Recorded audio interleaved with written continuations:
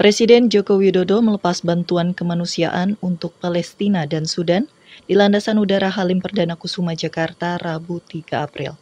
Jokowi menyebut bantuan yang diberikan senilai 30 miliar rupiah tersebut menggunakan dana siap pakai dari Badan Nasional Penanggulangan Bencana BNPB. Bantuan yang diberikan itu juga disesuaikan permintaan dari lapangan yang bertujuan untuk membantu penanganan kesehatan warga Palestina yang mengungsi di Mesir.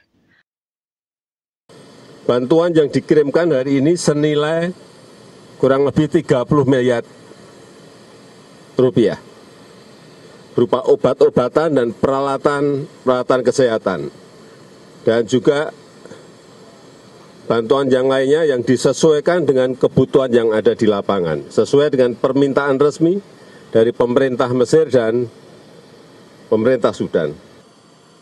Turut hadir dalam pelepasan bantuan Menteri Koordinator Bidang Pembangunan Manusia dan Kebudayaan Muhajir Effendi, Menteri Luar Negeri Retno Marsudi, Menteri Kesehatan Budi Gunadi Sadikin, Menteri Keuangan Sri Mulyani, Kapolri Jenderal Listio Sigit Prabowo, Panglima TNI Jenderal Agus Subianto, Kepala BNPB Letjen Suharyanto, dan delegasi.